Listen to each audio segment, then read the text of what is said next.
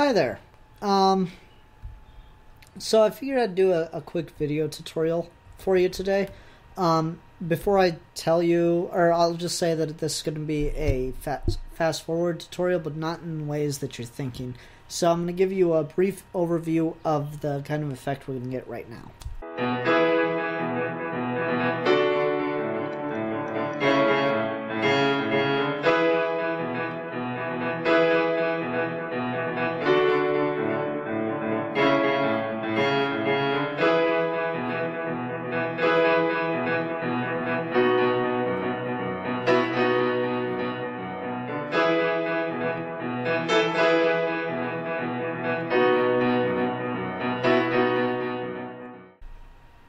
Okay, so that's what we're going to do, and here's the project. All I've really done is just imported the stuff I wanted and linked up some better audio than my natural audio.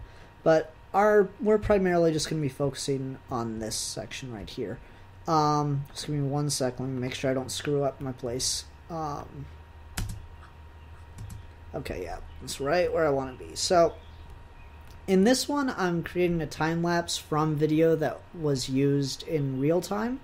And so I'm just going to put a split right there, but if you don't want um, any of the real-time video to play, you can do just a um, uh, a basic streamline thing, and that's S to split, just in case you don't know.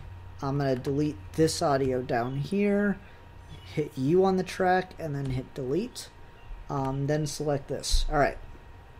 So it's this section of video from here to here that I'm going to be um, time-lapsing. And so the basic way you do a fast forward with video tracks is you get the marker right onto the edge of the clip like there until that changes icons. Then you hold control and you'll notice the little squiggly line that has come up. It says uh, time stretch. So you're going to hold control, you're going to click it, and then you're going to drag it in. Or if you're doing slow motion, you drag it out, but we're fast forwarding, so you're going to drag it in as far as it will go. Alright? And then if you have, like I'm doing, you want real-time stuff, you put it at the back like there. Alright? Now this is a really useful technique if you're doing stuff like time lapses or say you're doing a speed painting or a speed drawing and you just have a lot of footage. And it doesn't have to be, you know, camera footage. You can do this with um, what I'm doing right now with a screen capture if you're doing a Photoshop paint. So there are a lot of uses for it. I'm doing a Lego speed build right here. So there's there's a ton of applications for this. Alright, so where I have my two things, I'm going to put a mark and put start, and it's M to do a mark, though it's not entirely necessary, it just saves you a little bit of time later on. And do another mark and put end.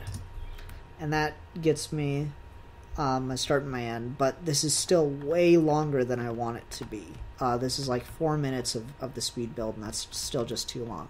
So what I'm going to do is I'm going to save the project as uh, Lego.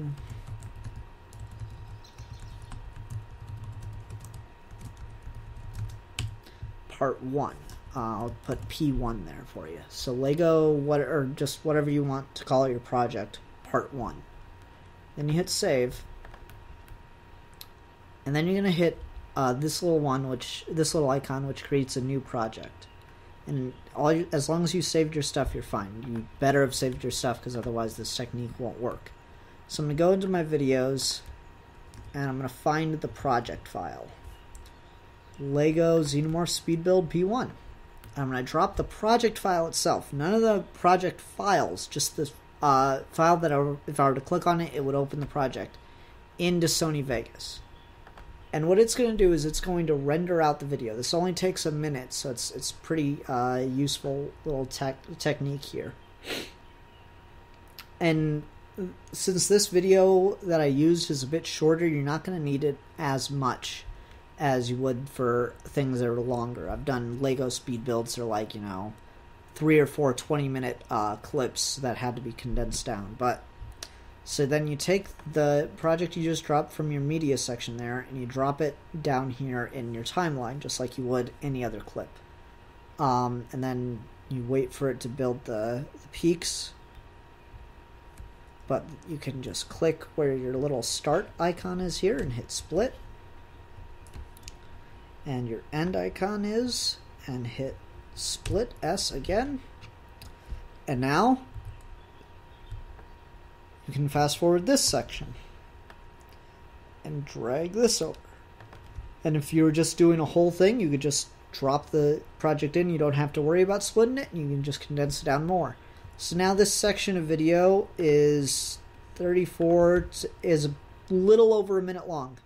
Um, and if I wanted to, I could keep doing this. That's actually shorter than I want it to be. I want it to be about two minutes in length. So if I wanted to, I could condense it down even further again, but obviously I don't want to do that. Um, but honestly, if I wanted to, I'd just go mark 1 and put end again, and go to the other split, mark 1 and put start again. I'd save the project as the exact same title as I did for the last one, but instead of P1, I'd put P2, and then you open another version of Vegas and you drop it. And you just keep doing that until your timeline section is as far down as you want it to be. Um, for me, I'm done in just two steps, but this is, like I said, a very useful, very versatile technique that I highly recommend to anyone who's using Vegas. I don't know if it works in other programs. It's worth a shot, though. It's fairly easy to do. Um, best of luck. Hope you enjoyed this brief tutorial. I'll catch you some other time. Bye.